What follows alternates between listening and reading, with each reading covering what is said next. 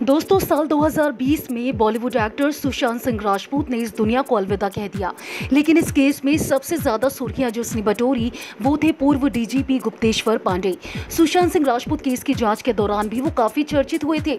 मामले की जाँच के लिए बिहार और महाराष्ट्र सरकार के बीच तनातनी के दौरान पूर्व डीजीपी गुप्तेश्वर पांडे खबरों में आए थे।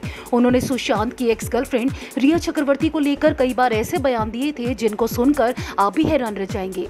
वहीं सुशांत केस के बाद एक बार फिर से पूर्व डीजीपी गुप्तेश्वर पांडे एक बार फिर से चर्चा में है। वो इन दिनों अयोध्या में कथा वाचन कर रहे हैं।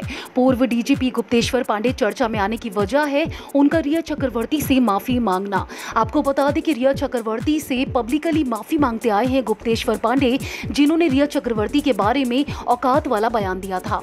दरअसल हाल ही में जब उनसे पूछा गया कि क्या वो रिया चक्रवर्ती पर अपने उस कमेंट पर पछतावा है, इसके जवाब में उन्होंने कहा कि मेरे लिए औकात का अंग्रेज़ी में मतलब कद होता है, लेकिन इसे अपमानजनक माना गया। इसलिए मैंने उनसे माफ़ी मांगकर अपने शब्दों को वापस ले लिया था। मुझे मेरे बयान पर काफ़ी खेद है और मैं शर्मिंदा हूँ कि मैंने इस तरीके का वर्ड यूज़ किया। आपको बता दें कि रिया चक्रवर्ती के लिए उन्होंने इस वर्ड का यूज़ किया था, जब उन्होंने कहा था कि उनकी औकात नहीं है कि सुशांत केस में डीजीपी के बारे में कुछ बोल पाए।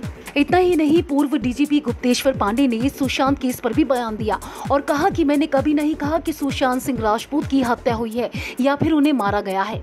आपको बता दें कि सुप्रीम कोर्ट ने सुशांत सिंह राजपूत की मौत के मामले की जाँच सीबीआई को सौंपने का फैसला सुनाया था। जब बिहार के डीजीपी रहे गुप्तेश्वर पांडे ने कहा था कि ये न्याय की जीत है। रिया चक्रवर्ती के परिवार वालों की तरफ़ से मुख्यमंत्री नीतीश कुमार पर भी कमेंट को लेकर उन्होंने कहा था कि उनकी औकात नहीं है कि नीतीश पर कुछ भी बोल सके। नीतीश कुमार के सपोर्ट से ही सुशांत के परिवार वालों को न्याय मिलने की उम्मीद जगी थी। लेकिन जिस तरीके से उन्होंने रिया चक्रवर्ती के लिए औकात वाला बयान दिया था, उसको लेकर अब वो शर्मिंदा है और उन्होंने रिया चक्रवर्ती से माफ़ी मांगी है।